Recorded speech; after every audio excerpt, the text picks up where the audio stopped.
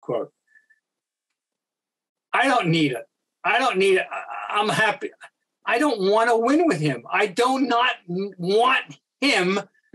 I don't. You don't want to root for him. You don't want to No, root for Kevin Durant. No, You know, you know no, what Bob I, is such I, a great want to root for this group right here that Right. we have seen assembled, that you know, that and grow, and and now that we've added Brogdon, we're going to get to Gallinari. But Okay. now that we've added Brogdon, I love this team. Yeah. I don't want to win with that shithead. All right, and I think he is one, frankly. So Put that in the Boston Globe, Bob Ryan. I don't want to win with that shithead. Put that in the Globe. Yeah, I don't want to win with him. I don't know. Hey, Not I'm going to push back fan. on that. I'm going to most push. people. I'm let me back up. Most people, they don't ha- go that far. Winning's winning, no matter who you're winning with. I don't need. I I guess I'm sorry. I I've been through too many championships, and thank lucky me. And I don't want to win with this guy. Yeah. Screw him. No, let's stick with the group we got. They're good enough and win to win in theory. They've added Brogdon, and and presumably once he gets over his injury, Gallinari, we'll talk about that. And they've bolstered the team that fell two games short of winning. And I don't want to win with this guy. Screw him. I know, but maybe if he gets away from Kyrie, maybe he can return to some sense of normalcy. No, he's gone. He's he's look, he's grown up. He's had the right to do what he's done. Grow up before our eyes in a way that he chooses. And that's not the uh, I don't like what he- the way he's chosen. Sorry. He's changed. He's changed. He has Okay. grown up. He's not the kid anymore that No. that No. I mean, and, and he'll never get over the resentment that he caused jumping to Golden State. He'll Right. never get over it.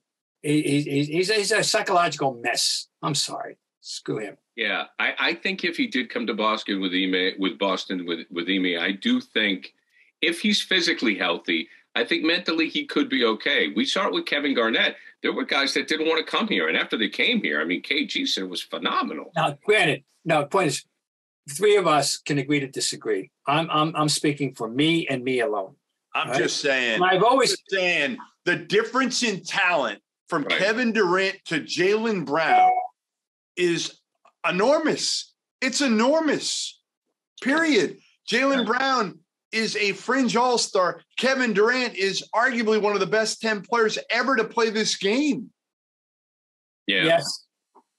When he's when he's uh, you're right. And when, Yes. his, mind- when his mind's Well, in the yes. We're forgetting that. I think we're I'm not forgetting, forgetting that it. because I don't need it. saw in the playoffs where Kevin Durant wilted. He did. He wilted in the playoffs. No doubt about it. And, and Jayson Tatum wasn't himself to me in the playoffs, whether it was the injury or not. But Kevin, the last memory we have, the last vision we have of Kevin Durant was he looked nothing like a top 10 player of all time. He didn't look like a top 50 player of this year.